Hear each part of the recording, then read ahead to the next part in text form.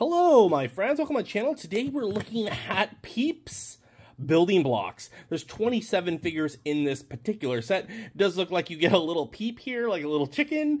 Um, then you get some flowers. It looks like a very simple set. This is for ages 6 up, and we're doing Peeps Chick Figure. This did come out in 2024, which is the year that I produced this video. I want to say if um, happy holidays for anyone that does celebrate Easter. I figured Easter would be a good time for Peeps, and if it would be a good time to do this one video.